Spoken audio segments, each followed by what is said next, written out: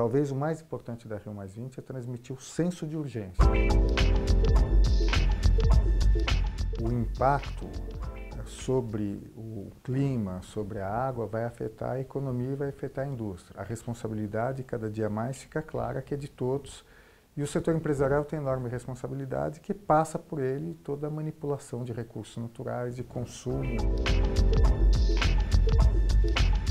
Quando a gente fala em ecoeficiência, produzir mais com menos energia, com menos água, isso significa economia para o próprio setor empresarial. Ou seja, eu acho que nesse momento a ideia do desenvolvimento sustentável reside basicamente em nós encontrarmos as convergências e estimularmos as convergências.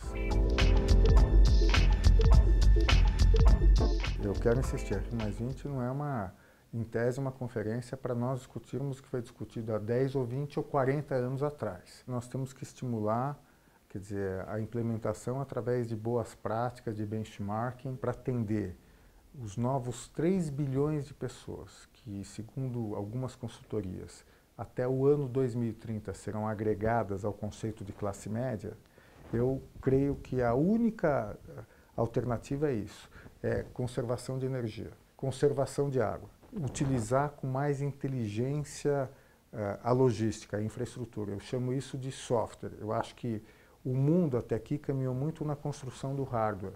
Eu acho que daqui para diante esse hardware tem que estar associado a um software que significa, em outras palavras, a utilização de inteligência.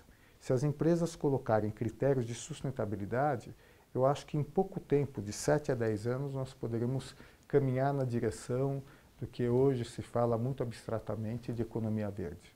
Rio Mais 20 depende de você.